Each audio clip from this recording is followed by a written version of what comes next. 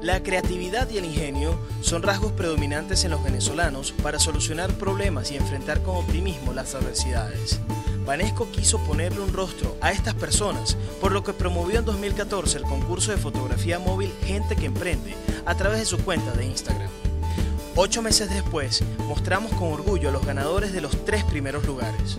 Básicamente la historia detrás de esa fotografía, aparte del amor a los animales, es sencillamente esa dedicación que tiene este doctor hacia atender a los animales sin importar su condición o trastorno, enfermedad que tengan. Bueno, me parece una buena iniciativa porque nos permite usar el teléfono como herramienta que tenemos todos a la mano para, para dejar un registro de, de, lo, de, lo, que uno se va consiguiendo en la calle, de esas personas que hacen historia y que, que están en secreto en, en cada rincón y nadie las conoce. Me siento muy feliz y agradecido por haber ganado el, el, tercer lugar del concurso Gente que Emprende con una fotografía de una señora que lleva más de 30 años vendiendo besitos de coco en Margarita y es el vivo ejemplo del hashtag Gente que Emprende. Nos complace premiar y publicar las mejores fotos porque todo este esfuerzo desembocará en el primer libro de fotografía móvil editado en el país.